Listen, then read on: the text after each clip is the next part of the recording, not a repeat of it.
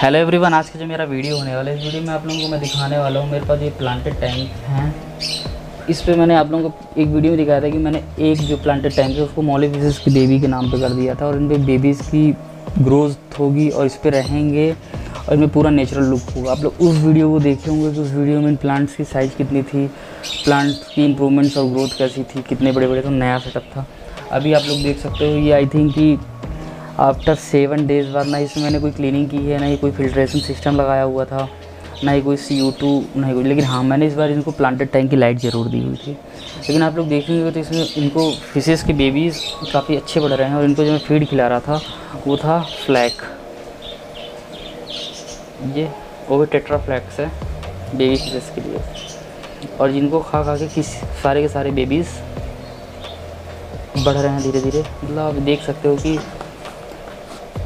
वो video actually मैंने थोड़ा लेट अपलोड किया था, लेकिन ये सेवन डेज़ हो चुका है।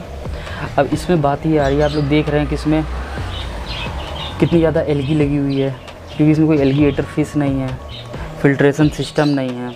लेकिन इसको साफ़ करने के लिए आप सभी लोग जानते हैं कि मैग्नेट क्लीनर आता है, लेकिन ये नेचर टैंक है, ये आप लोगों को याद रखना है। और नेचर टैंक में अगर अपन लोग ऐसा कोई भी मैग्नेट या कोई भी चीज़ यूज़ करते हैं तो उसमें क्या फ़ायदा होगा, क्या नुकसान होगा? अगर हम इसे ऐसे सिलाएँगे तो आपका पूरा प्लांट्स और छोटी फिशेस हैं, वो हिल डुल जाएँगी और आपके नुकसान हो सकता है प्लांट्स का भी, और या तो पानी में बहुत सारी जो नीचे गंदगियाँ हैं, वो भी एकदम डुलने लगेंगी। तो मैं कहूँगा इसको डोंट यूज़ करें। मतलब बिल्कुल भी यूज़ प्लांटेड यूज़ टैंक में मैग्नेट यूजिंग का सजेशन नहीं देता हूँ। अब मेरे पास एक चीज़ आती है, ये स्पंज मिलता है। एक जो नया रखते हैं अपन लोग अपने एक्वेरियम के लिए अलग से, अगर इससे अपन लोग ये क्लीन करेंगे और साफ़ करते हैं, या थोड़ा सा ऊपर ऊपर तो कर सकते हो। लेकिन इससे भी जो गंदगी छूट के नीचे जाएगी, और चार पाँच दिन तो हो गया चार पाँच दिन तक तो पानी चलिए, ठीक है, अपने हिसाब से जो पानी के अंदर था, हिम्मत उसने अपना काम किया। लेकिन अब अगर आप लोग इसको नीचे ले आएँगे तो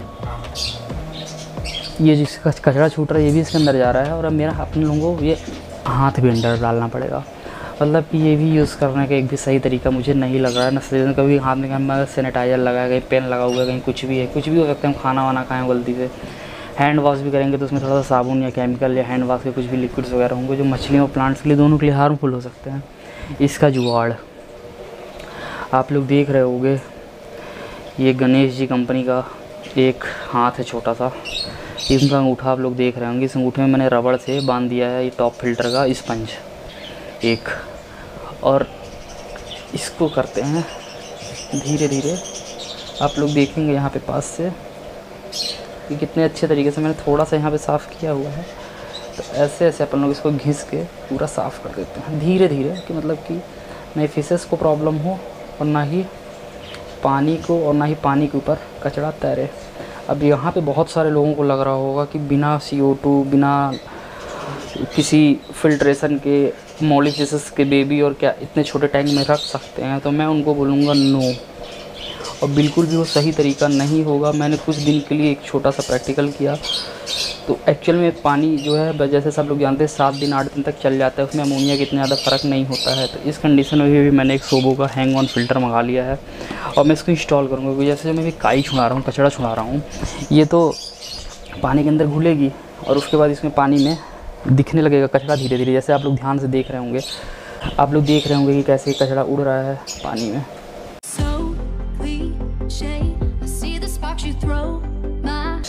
आप लोग मेरे इसमें देख सकते हैं, एक मेरे पास मॉस थी, जो कि मैं अपने वुड में लगाया हुआ है। इसकी भी ग्रोथ अच्छी हो रही है, और जो ये प्लांट्स लगे हैं, इस प्लांट्स के बारे में बताना चाहूँगा। जिस प्लांट्स का नाम है, ये लिखा हुआ है हाइग्रोफीलिया और सबसे ख़ास बात इस प्लांट की बताऊँ, ये इंडियन एक्वाटिक प्लांट्स हैं, जो इंडिया में पाए जाते हैं। इंडिया बोले और कहा जाए तो एशिया में लगभग इंडिया, पाकिस्तान, नेपाल, इन जगहों में काफ़ी इजीली मिल जाता है और ये आपको एक्वाटिक शॉप्स में मिल जाएगा। और ये काफ़ी स्ट्रॉन्ग प्लांट है मतलब कि नॉन सी टैंक के लिए सिर्फ़ अगर आप लाइटिंग के बेस पे अगर कोई टैंक चलाना चाहते हैं तो मैं ये कहूँगा कि आपको इससे अच्छा कोई भी प्लांट नहीं मिलने वाला है। और इसकी खूबसूरती और इसकी ग्रोथ वगैरह भी देख सकते हो। और इसी के साथ में कुछ प्लांट्स ये लगे हुए हैं, नीचे तरफ़ आप लोग देख रहे हो, ये मैंने मंगाए थे पुणे से। और ये इनकी ग्रोथ लगभग तीन चार महीने हो चुके हैं और ये है कि डेड नहीं हुए हैं, पर यह है कि इनकी ग्रोथ उतनी की उतनी ही है। तो मैंने इनको शिफ्ट किया, इस वाले टैंक में डाला लिक्विड कार्बन फर्टिलाइज़र वगैरह भी डाल दिया बट उससे भी इनका कुछ खास असर देखने के लिए नहीं मिला। अब आप लोग देख रहे हो कि इतना करने के बाद कांच तो क्लियर हो गई लेकिन कांच के अंदर की कंडीशन आप लोग देख सकते हो, जो कि बिल्कुल से भी सही नहीं है। अब इसके लिए अपन लोगों को इस्तेमाल करना पड़ेगा हैंग ऑन फ़िल्टर जो कि जाके आपका भी आधे घंटे के अंदर अब आप लोग पहले मोली फिजस की देवी देखो। और मैं इसको कर देता हूँ इंस्टॉल ये थोड़ा सा दूसरे टाइप का है। इसकी मोटर जाती है पानी के अंदर। थोड़ा सा इसका वाट ज़्यादा है, लेकिन इतने वाट का मैं फ़िल्टर सजेशन नहीं करता हूँ, इतने छोटे टैंक के लिए। बट मेरे पास है। इसे मैं फटाफट लगा देता हूँ। वैसे आप लोगों को इसका अगर पूरा वीडियो देखना हो how to use hang on filter तो इसका मैंने सेपरेट वीडियो बनाया हुआ है, आप लोग उसे जाके देख सकते हैं। डिस्क्रिप्शन बॉक्स में लिंक मिल जाएगी, आप लोग इसे ऑनलाइन ख़रीद भी सकते हैं। इसका सिस्टम थोड़ा सा उल्टा है। इस वजह से आपका पावर हेड होता है उस वाले फ़िल्टर का, जिसमें इम्पोर्टेड टैंक है चाइनीज़ टैंक है, ये मोटर पानी के अंदर रहेगी, और जो आर एस और वीनस के आते हैं, उनकी मोटर इसके अंदर रहती है चैम्बर के। जैसे आपका कैनिस्टर फ़िल्टर होता है। इसको लेकिन यहाँ पे लगाए स्पंज इसके लिए लगा हुआ है कि पानी भी थोड़ा सा साफ़ करेगा ही। उसके साथ में छोटे छोटे बेबीज़ वगैरह हैं पीसेस वगैरह उससे छन के अंदर नहीं आएँगी। और इसके अंदर दो वो बने हुए हैं।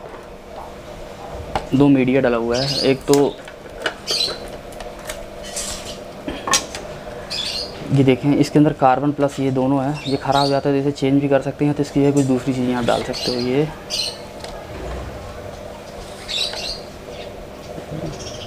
यहाँ पे कंट्रोल करने के लिए बना हुआ है कितना ज़्यादा फोर्स फ्लो करना है।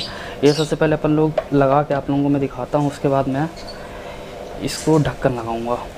वाइब्रेट हम्म, हो रहा है।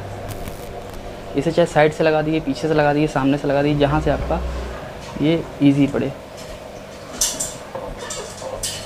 ये आप देखो इसको लगाते साथ ही ये आप लोग देख सकते हो ऊपर से। इसमें भर रहा है पानी जैसे इसमें पानी भरता है अब ये पानी वापस रिटर्न आएगा। और इसकी स्पीड सेट कर सकते हैं। अगर आप लोगों को तेज़ कर दिए तो इधर तक घुमाएँगे, तेज़ हो जाएगा। अब इसको धीमा भी कर सकते हैं, ऐसे यहाँ पे ये जितना चाहे उतना धीमा कर सकते हैं, जितना चाहे उतना तेज़ कर सकते हैं। इसे मैं मीडियम पे रखा हुआ हूँ। ये बहुत ही सॉफ्ट तरीके से वर्क करता है। स्पेशली प्लांटेड टैंक के लिए बनते हैं hang on filter hang on filter से बेस्ट मैं कुछ भी नहीं मानूँगा आपको प्लांटेड टैंक के लिए। या तो फिर आप तो एक छोटा संप लगाइए, या तो फिर hang on filter sponge filter में इसके लिए सजेस्ट नहीं करता हूँ। क्योंकि स्पंज फ़िल्टर में होता ये है कि स्पंज फ़िल्टर से जो बबल्स निकलते हैं, उनकी स्पीड काफ़ी तेज़ होती है और स्लो बबल और लो बबल अगर होंगे तो फिल्ट्रेशन सिस्टम वर्क नहीं करेगा। तो इसका मतलब ये है कि आपको बबल्स उसके वर्किंग करवाने ही पड़ेंगे। अब वेट करते हैं। इसको देखते हैं एक घंटे बाद कि कितना ज़्यादा पानी साफ़ होता है। आप लोग देख सकते हो, अभी करीब एक से डेढ़ घंटे हो चुके हैं और एक्वेरियम का पानी आप लोग और एक्वेरियम का ग्लास भी देख सकते हैं। मैं जूम आउट करके दिखाता हूँ। और एक एक यहाँ पे बगल में रखा है जिसमें ब्लू कलर का बैकग्राउंड लगा हुआ है। इस पर भी अभी हम लोगों ने सिर्फ़ पानी चेंज कर दिया था बिकॉज़ इस पर फ़िल्टर नहीं लगा था और पानी इसका भी गंदा हो रहा था ग्लास बट उसका अपडेट मैंने नहीं दी थी। गप्पी फीमेल गप्पी फ़िश का टैंक है। और यहाँ पे मॉली फिशेस के बेबीज़ के लिए जो मैंने सेपरेट टैंक बनाया हुआ था, ये उसकी अपडेट है। काफ़ी ज़बरदस्त इसका अपडेशन चल रहा है और मॉली फिशेस के बेबीज़ जो हैं वो काफ़ी ज़्यादा हेल्दी हैं और काफ़ी ज़्यादा उनकी ग्रोथ भी हो रही है अच्छी आप लोग देख सकते हो मतलब ऐसा लग रहा है कि जिस स्पीड से बड़े हुए हैं और जैसे ये एक्टिव हैं और अच्छे हैं, उस स्पीड से लग रहा है कि एक से डेढ़ महीने के अंदर ये काफ़ी ज़्यादा बड़े हो जाएँगे। और इन प्लांट्स को देख सकते हैं, इनमें भी कुछ नई नई पत्तियाँ निकल रही हैं। और जो इंडियन एक्वाटिक्स प्लांट्स हैं, उनकी तो आप लोग देख ही सकते हैं, वो तो टॉप पे ही वो कर रखी हैं। अब इनकी छटाई भी करनी पड़ेगी। फ़िल्टर बाकायदे चल रहा है। तो उम्मीद करता हूँ आप लोगों को मेरा ये प्लांटेड टैंक का साफ़ करने का तरीका, फ़िल्टर लगा के उसे अपडेट करने का तरीका मॉलीफिस के बेबीज़ के लिए जो मैंने इसका सिस्टम बनाया हुआ था, ये सारा तरीका देख के आप लोगों को काफ़ी ज़्यादा मज़ा आया होगा और अच्छा भी लगा होगा। तो आप लोग मेरे चैनल पे यूँ ही बने रहेंगे, चैनल को सब्सक्राइब करके वीडियो को लाइक और शेयर तो बिल्कुल करेंगे ही। तो आज के लिए ख़त्म करते हैं यहाँ पे कहानी। तो आप लोग मेरे चैनल को ज्वाइन ज़रूर कीजिएगा डिस्क्रिप्शन बॉक्स में सारी चीज़ें की जानकारियाँ दी हुई हैं, जिनकी जानकारी मैं यहाँ पे शायद या कुछ आप लोगों को एक्स्ट्रा जानकारी चाहिए तो। तो आज के लिए बस इतना ही। Thanks for watching this video bye bye